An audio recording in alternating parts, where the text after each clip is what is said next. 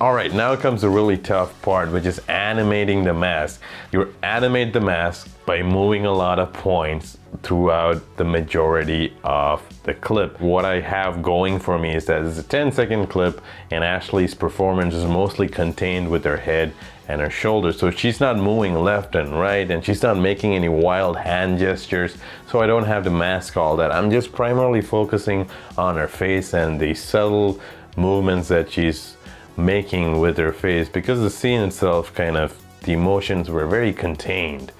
That works for me. So really think about that scene and even make that call. Is it worth it for me to film this during the day and convert it into night or should I just wait until the sun sets? Now animating this mask might seem daunting at first, but really it, it it's just practice. All it is is practice. The more you work with animation, the more you animate, the better you get at it. The only annoying part about animating masks is that it is time consuming. As I'm playing through the clip, especially on the left side of her face when she's making these subtle movements, it's pretty obvious that the light is not matching her face movement and that's one of the reasons you want to animate the mask. Basically you're going through the clip and everywhere there is a drastic change in movement of her face, you want to create a start point and then move it to that end point and then kind of do that for the entire clip. Again, it's something that takes practice. You want to do this maybe a couple times if you're just getting into masks and animation, but third time you do it, it's going to look great. All right, when you click on that mask layer and you click on that little timestamp next to the mask path, it's going to create a keyframe. Here's a tip when you're working with masks. Create an imaginary point on the actor's body or face, in this example, Ashley's face. I'm creating an imaginary point on the top left or forehead right over here and I'm gonna try and move that mask to wherever that forehead is moving and pretty much as I said before I'm just gonna slowly move across the timeline and see spots where there's a lot of movement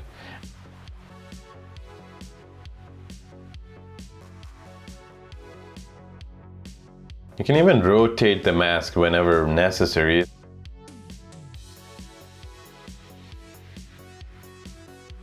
And it's a process of trial and error. Sometimes you're creating a keyframe, you're taking it off, you're creating one other one, you're taking it off. You're really playing with it.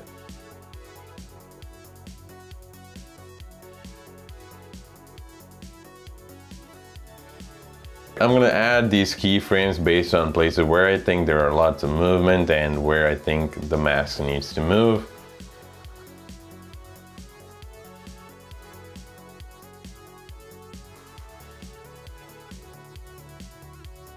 I've created a lot of keyframes and as I'm playing it back, it is a little um, abrupt, especially on the bottom because the primary focus was the top left of her head and obviously when she rotates her head, that little motion is creating some jagged animation.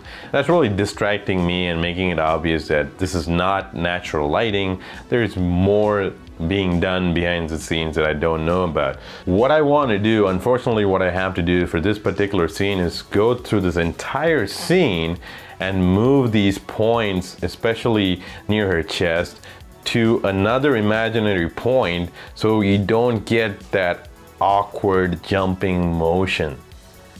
So for this example, I'm gonna imagine that point to be right near her hair where her hair is kind of touching her shirt. So I'm gonna make that as an imaginary point and kind of move all these rogue keyframes to that particular point.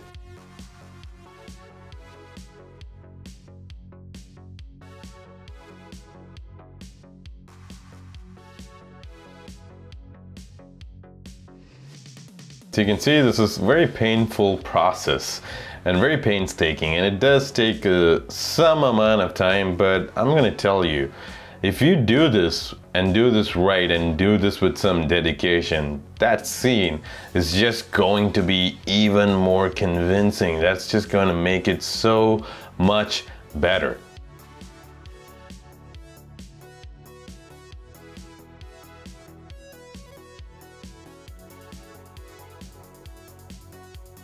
Now playing through the frames, it's actually better There's some jerkiness here and primarily that jerkiness is because I've added a lot of keyframes.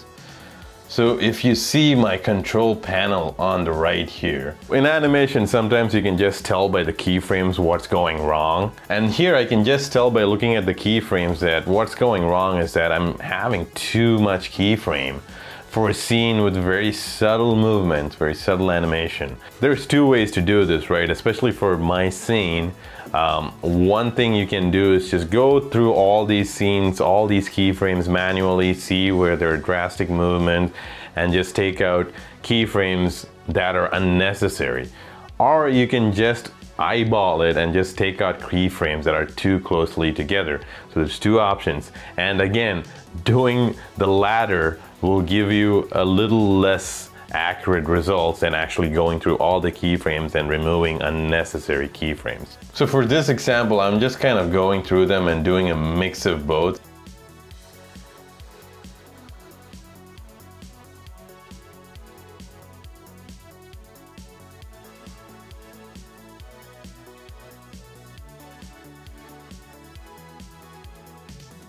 This is also a trial and error process where you're taking out keyframes, you're undoing your deletions, maybe you're adding a new keyframe, but you want to make sure that there's some consistency in the lighting. And consistency in the lighting in the sense, especially the primary point of focus. And for my example, the primary point of focus is the actor's face. And I want to make sure that that mask is moving consistently on her face. I don't want it to be really jagged and really jarring on her face because that's gonna take the audience out of this illusion that this is a real night shot.